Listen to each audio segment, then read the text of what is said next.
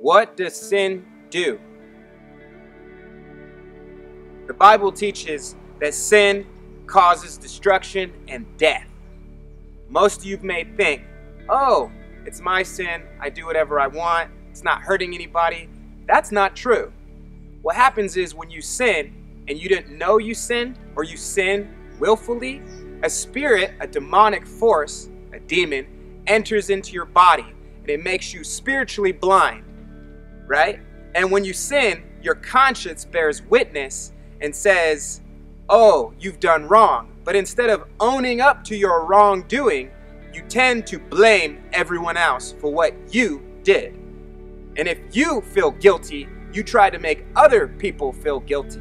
But if you repent and say sorry to God, only by doing that can the blood of Jesus wash you from that spirit, that demon, that guilt. And then you can be set free, and then you can see your neighbor as you see yourself and as God sees you in love.